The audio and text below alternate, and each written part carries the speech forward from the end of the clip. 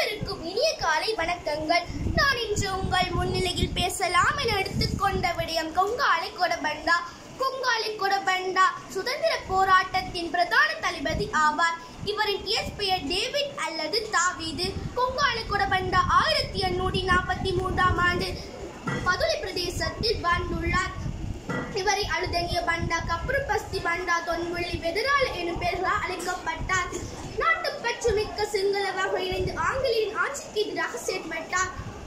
ஆயிரத்தி எழுநூற்றி நாற்பத்தி எட்டாம் ஆண்டு முப்பதாம் தேதி விகாராதிபதி இந்திர ஜோதி அவர்களின் ஆசீர்வாதத்துடன் மங்களவாள் அணிவிக்கப்பட்ட ஸ்ரீ விக்ரம சர்வ சித்தி என பெயரால் ஒரு நாட்டினது மன்னனாக முடிசூட்டப்பட்டார் கண்டி மருந்துகளை மாத்தளி ஆகிய நகரங்களை வச்சு கொண்டிருந்த சிங்கள தலைவர்களில் ஏற்பட்ட கருத்து வேறுபாடு காரணமாக யுத்தம் நலிவடைந்தது.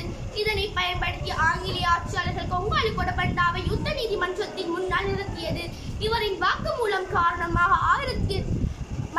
ஆயிரத்தி தளர்த்தப்பட்டு நூறு கசேடிகளாக மாற்றப்பட்டது. ஆயிரத்தி எழுநூற்றி நாற்பத்தி ஒன்பதாம் ஆண்டு ஜனவரி மாதம் முதல் முதலாம் தேதி உயிர் நீத்தார்.